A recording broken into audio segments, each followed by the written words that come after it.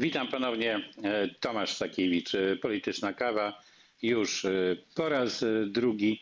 I jest z nami już pan profesor Przemysław Czarnek, poseł Prawa i Sprawiedliwości. Witam serdecznie, panie pośle. Dzień dobry, kłaniam się państwu. Chciałbym pana zaprosić jako byłego ministra edukacji, żeby pan pokomentować szkolnictwo, bo tu się dzieje, ale są rzeczy ważniejsze. Zaprosiłem pana jako konstytucjonalistę i potencjalny kryzys, który może wywołać sprawa e, próby nielegalnego odebrania mandatów e, posłom Maciejowi Wąsikowi e, i Mariuszowi Kamińskiemu. Zobaczmy krótki materiał. Orzeczenie Izby Kontroli Nadzwyczajnej i Praw Publicznych Sądu Najwyższego zmieniło prawomocnie decyzję marszałka Sejmu w przedmiocie pozbawienia mandatu posła Mariusza Kamińskiego i Wąsika.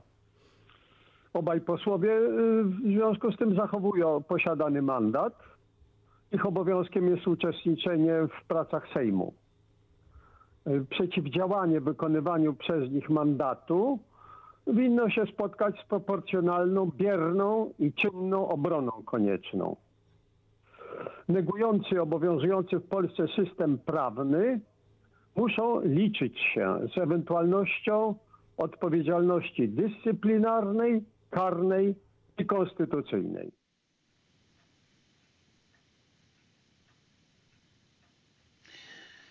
To stanowisko e, e, mecenasa Andrzejewskiego, autorytetu prawnego, obrońcy e, więźniów politycznych, członka Trybunału Stanu, wiceprzewodniczącego, jak dobrze pamiętam, Trybunału Stanu.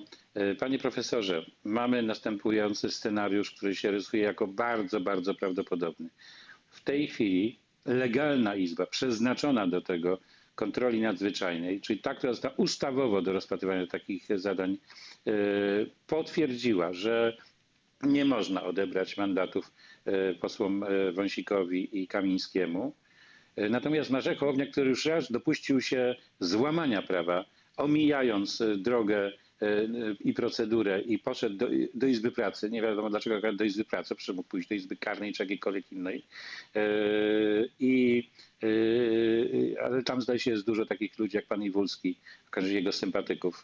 Proszę pan Iwulski to jest były kapitan komunistycznych służb wojskowych, który został delegowany do sądu. Tak, on nie został wybrany, on został delegowany przez służby, tak ma w aktach delegowany, to jest ten ta ostoja niezawisłości, delegowany przez wojskowe służby komunistyczne e, do, do pilnowania tego sądu. E, I tam siedzi od kilkudziesięciu lat. E, I ta, ta, ta izba będzie to rozstrzygać 10 stycznia. I patrząc na skład tej izby, jest dosyć prawdopodobne, że wyda inny wyrok.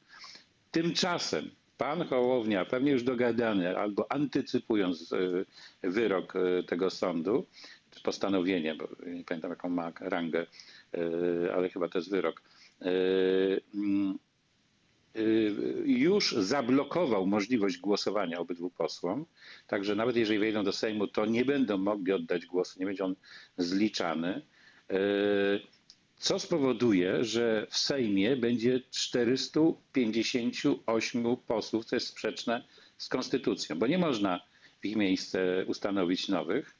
E, a jeśli Sejm nie jest w pełni obsadzony e, e, i nie dopuszcza się posłów do głosowania, no to proces legislacyjny zostaje trwale uszkodzony. Tak, żadna ustawa nie ma już e, możliwości bycia zatwierdzoną. Co nas czeka dalej, jeśli się nie opamiętają?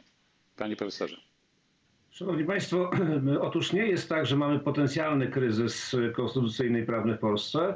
My jesteśmy tuż przed apogeum tego kryzysu. A kiedy ten kryzys się rozpoczął? Otóż ten kryzys rozpoczął się wówczas, kiedy Trybunał Sprawiedliwości Unii Europejskiej bez żadnych podstaw prawnych traktatach, bez żadnych kompetencji w tym zakresie. Wtrącił się na wniosek e, części, no powiedzmy, na jakiejś mafii sędziowskiej w Polsce. Mamy jakąś drobną część, ale jednak e, osób, które nigdy sędziami nie powinni być i oni sprokurowali wraz z niektórymi adwokatami, tworząc swego rodzaju mafijne środowisko, tego rodzaju interwencję niezgodną z prawem traktatowym europejskim, interwencję Trybunału Sprawiedliwości Unii Europejskiej. Orzeczenia Trybunału Sprawiedliwości Unii Europejskiej, który podobno uważa Izbę Kontroli w Sądzie Najwyższym za niesąd, a sędziów tej Izby jako neosędziów, nie sędziów, to orzeczenie nie ma żadnej mocy prawnej i nie stanowi żadnej podstawy prawnej do działania w Polsce. Nie może też być w związku z tym jako niepodstawa prawna, bo nie oparta na jakichkolwiek przepisach prawa traktatowego, nie może też stanowić podstawy orzekania kogokolwiek.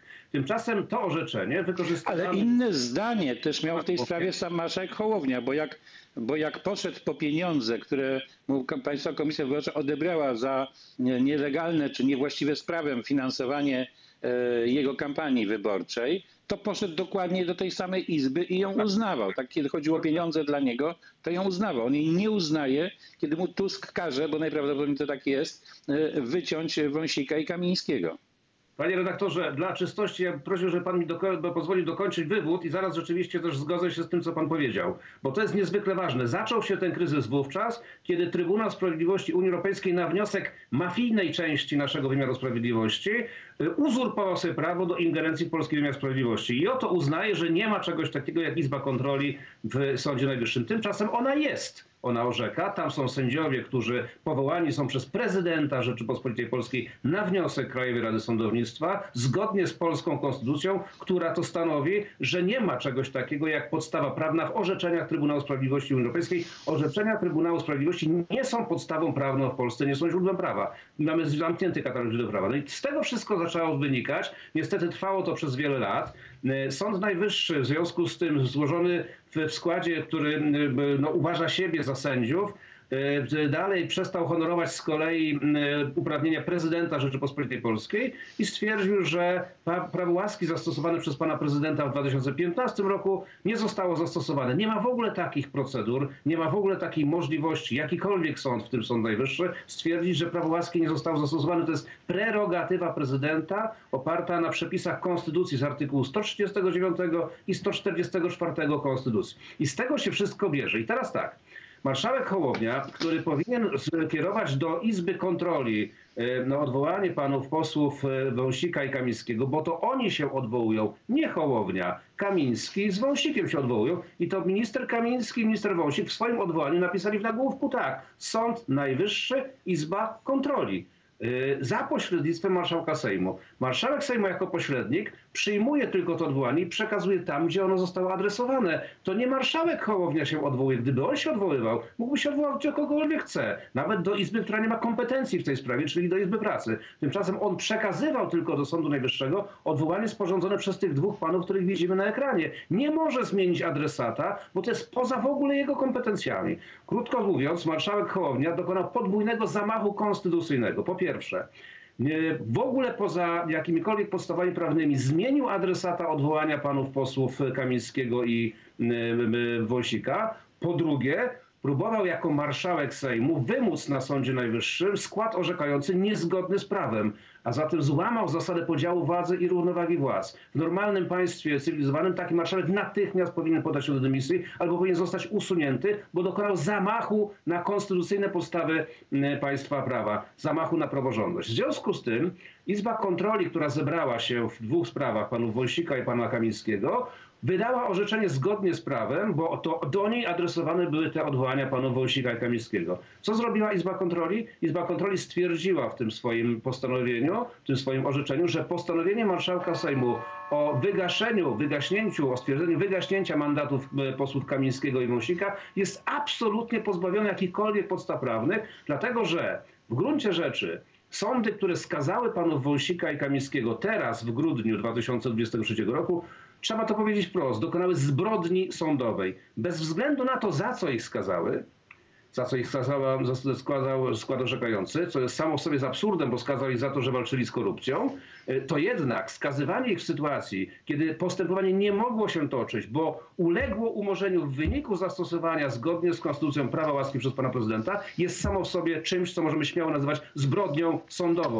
Wykazał to Sąd Najwyższy, Izba, Izba, y, Izba Kontroli. I teraz y, to wygaszenie mandatu, a jednocześnie pozbawienie możliwości działania jako posłów, osób legalnie wybranych przez społeczeństwo polskie 15 października 2023 roku jest zamachem konstytucyjnym. I jeśli ci posłowie nie zostaną wpuszczeni na salę sejmową w środę 10 stycznia i nie będą dopuszczeni do możliwości wykonywania z mandatu poselskiego, którego udzieliło im społeczeństwo w demokratycznym i praworządnym państwie, to będzie to zamach konstytucyjny i to już kolejny tej ekipy i pana Hołowni, który wykonuje nie wiadomo czyje rozkazy, bo ja nie wiem, czy tylko Tuska. Pan Hołownia wyszedł całkowicie poza granicę swoich kompetencji, przekroczył z daleko swoje uprawnienia, wykazał mu to Sąd Najwyższy, a jeśli nie będzie dopuszczał tych posłów do pracy, y, to będzie to po prostu kolejne przekroczenie uprawnień pana Hołowni i za to pan Hołownia odpowie.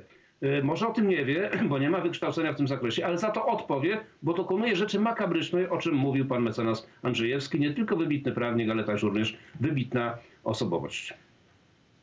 No dobrze, ale teraz załóżmy, że jakaś ustawa czy jakiś inny przepis, który musi trafić na biurko prezydenta, przejdzie taką wadliwą y, drogę prawną, przy której nie dopuszczono y, legalnych posłów do głosowania. Co powinien zrobić ten prezydent? Czy prezydent może ustawę mającą rażącą wadę prawną e, podpisać? Pan prezydent zawsze ma do dyspozycji trzy drogi, to znaczy może podpisać ustawę, może ją zawetować, e, może również skierować do Trybunału Konstytucyjnego i zawsze z tych trzech ścieżek może korzystać. Wydaje się, że w takiej sytuacji, kiedy ustawa byłaby uchwalana bez udziału, bez możliwości udziału w podejmowaniu tej decyzji i to poprzez zablokowanie wprost, niezgodne z prawem, wykazane przez Sąd Najwyższy, pracy tych posłów przez marszałka Sejmu Rzeczypospolitej Polskiej, pan prezydent nie powinien podpisywać ustawy, powinien ją skierować do Trybunału Konstytucyjnego i Trybunał powinien się wypowiedzieć co do takiej ustawy. Tak bym zrobił, gdybym był na miejscu pana prezydenta. Ale bym... jeśli Trybunał zgodnie z rzeczywistością prawną, tak, bo nie można logicznie podjąć innej decyzji, powie, ta ustawa ma nieusuwalną wadę, bo nie dopuszczono części posłów do głosowania. I powie prezydentowi, panie prezydencie, nie może pan tego podpisać, bo złamał pan również prawo. I prezydent jej nie podpisze, no to w zasadzie w Polsce nie da się już uchwalić żadnej ustawy. Tak, łącznie z budżetem nawet, dlatego że pan prezydent e, Andrzej Duda nie no może... właśnie, o to chciałem zapytać nie może wetować ustawy budżetowej, bo jest to konstytucyjnie wyłączone z możliwości wetowania, ale może skierować ustawę budżetową do Trybunału Konstytucyjnego. A jeśli Trybunał Konstytucyjny orzeknie o jej niekonstytucyjności, to ona po prostu w życie nie wchodzi. Mamy do czynienia wówczas no, z no, sytuacją już rzeczywiście e, bardzo y, trudną dla państwa, dla państwa polskiego. No ale generalnie skupiłbym się na innej rzeczy. Na roli w tym wszystkim pana marszałka Hołowni, który E, dokonuje i to w pełni świadomie, bo przecież tak jak pan redaktor powiedział, niedawno jeszcze występował do tej samej Izby Kontroli w sprawie finansowania swojego ugrupowania politycznego i jakoś mu to nie przeszkadzało. Za chwilę będzie orzeczenie tej samej Izby Kontroli w sprawie ważności wyborów. A no właśnie, 11 stycznia, jak dobrze jakoś... pamiętam, ma być y, orzeczenie ważności wyborów. No jeśli, jeśli ta Izba nie może orzekać myśl pana marszałka, to on nie powinien iść do tej izby prosząc o uznanie ważności wyborów, ale żadna inna izba nie może tego zrobić. No to co, wybory nie, nie zostaną uznane? No jaki mamy stan prawny? Bo to, bo to rzeczywiście zaczyna grozić jakimś rozpadem państwa. Stan prawny mamy bardzo prosty, szanowni państwo. Mamy stan prawny oparty na Konstytucji Rzeczypospolitej Polskiej, nad którą nie trzeba płakać, tylko trzeba ją wykonywać. Zgodnie z tą konstytucją pan prezydent na wniosek Krajowej Rady Sądownictwa powoływał sędziów. Uwaga, pan prezydent powołał około 4 tysięcy sędziów, młodych ludzi kompletnie niezaangażowanych w politykę, którzy ukończyli studia prawnicze na rozmaitych wydziałach prawa od UJ, przez KUL, przez UW, przez Gdański Uniwersytet Szczeciński i tak dalej, ukończyli aplikacje sędziowskie, zdali egzamin sędziowski, zostali mm, zawnioskowani przez KRS na urząd sędziego, a pan prezydent zgodnie z konstytucją powołał. To znaczy, że co? Że pan Hołownia, idąc tym tokiem rozumowania, będzie kwestionował również pracę połowy albo nawet więcej niż połowy sędziów dzisiaj orzekających w Polsce, w tym młodych ludzi, którzy kompletnie nie są zaangażowani w polityce. Proszę Państwa, oni sami potwierdzają, że w gruncie rzeczy to oni łamią przepisy prawa, to oni łamią konstytucję, to oni w gruncie rzeczy wybierają sobie takie wątki, które są im przy, przydatne politycznie, ale z prawem nie ma to nic wspólnego. Stan prawny w Polsce jest bardzo prosty. W sprawie pana Kamińskiego i pana Wąsika sądy nie miały prawa orzekać, dlatego że to postępowanie zostało dawno umorzone w wyniku aktu łaski pana prezydenta. Jest, takie, jest taka zasada prawnicza res judicata, to znaczy sprawa osądzona. Nie można osądzać ludzi dwukrotnie w tej samej sprawie. Tamta sprawa została zakończona, panowie zostali skazani, pan prezydent zastosował prawo łaski i postępowanie odwoławcze zostało umorzone. Zgodnie również z tym, co jest napisane w podręcznikach do prawa dla studentów trzeciego roku. Krótko mówiąc, łamanie przepisów prawa, łamanie konstytucji to jest dzisiaj rzecz, którą widzimy przez ostatnie trzy tygodnie i to widzimy jak na dłoni, a jest to rzecz, której dokonuje dzisiejsza ekipa większościowa z panem Hołownią i Tuskiem na czele. Zresztą ja czytałem chyba w, w wywiadzie w WP słowa profesora Antoniego Dudka, którego trudno podejrzewać o stronniczość i sprzyjanie Prawu i Sprawiedliwości. To jest człowiek, który nas krytykował i który ewidentnie ma światopogląd z tamtej strony. Znaczy dalej krytykuje, bo tam też była część bardzo krytyczna wobec PiSu. Ale tam, ale ten Antoni Dudek, profesor z Warszawy, powiedział, że jaja z konstytucji, cytuję, jaja z konstytucji, jeśli ktokolwiek sobie robi od 15 października, to jest ekipa z Tuskiem na czele i z Hołownią. I proszę Państwa, dzisiaj nie jesteśmy zatem w obliczu jakiegoś możliwego kryzysu konstytucyjnego i prawnego. My dzisiaj jesteśmy przed apogeum tego kryzysu i my tę bitwę o absolutną konstytucyjność i praworządność systemu prawnego w Polsce musimy wygrać, bo inaczej nie będzie Polski. Panie profesorze, ale gdyby doszło tak, że Trybunał czy prezydent uznają, że nie ma uchwalonego budżetu, bo nie przeszedł drogi legislacyjnej, no i widząc, że nie będzie uchwalonej żadnej ustawy, no to ten Sejm rzeczywiście nie może trwać, bo to jest sytuacja, która by doprowadziła do rozpadu państwa. No ale z drugiej strony, gdyby prezydent na tej podstawie rozwiązał Sejm, to oni go nie uznają. No i, i grozi nam już w tej chwili to, że wojsko i policja będzie decydować, kto, kto tu rządzi. To naprawdę jest strasznie poważna sprawa. Ale zdementujmy, panie redaktorze, w programie dzisiaj w południe, w niedzielę, w tej bardzo ważnej telewizji Republika, Zdementujmy jednak tę możliwość i te plotki. Nie ma możliwości, aby pan prezydent rozwiązał Sejm, skrócił kadencję Sejmu tylko dlatego, że Trybunał Konstytucyjny uzna ustawę budżetową za niekonstytucyjną. Jedynym powodem, dla którego pan prezydent mógłby skrócić kadencję Sejmu konstytucyjnie, jest nieuchwalenie budżetu przed końcem stycznia, bądź jak inni liczą od momentu wniesienia powtórnego ustawy budżetowej do Trybunału Konstytucyjnego tego, do, przepraszam, do Sejmu Rzeczypospolitej Polskiej, tego bym się nie obawiał, oni uchwalą tę ustawę budżetową w terminie.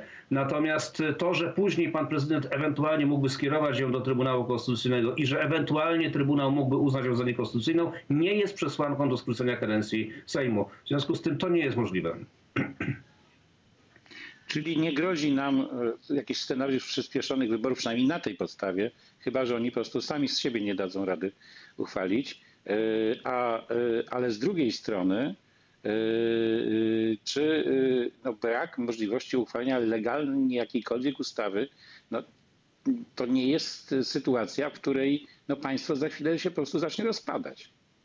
To prawda, dzisiaj już widzimy, to, zwróćcie Państwo uwagę, minęły zaledwie trzy tygodnie od momentu od tego 13 grudnia i zawiązania koalicji 13 grudnia i rządu Tuska 13 grudnia. I przez te trzy tygodnie mamy taki atak na praworządność w Polsce, taki zamach na konstytucję Rzeczypospolitej Polskiej, o której nawet nigdy nie śniliśmy, nawet nigdy o tym nie myśleliśmy, że coś takiego można robić, tak jak to robią oni. Musimy niestety kończyć. Panie profesorze, ta, ta rozmowa jest bardzo ważna, bo wszyscy chyba się niepokoimy o jakiś scenariusz anarchii, czy niepokojów, czy, czy takich, które rzeczywiście, no nie wiem, przy pomocy policji się rozstrzyga, kto tu rządzi.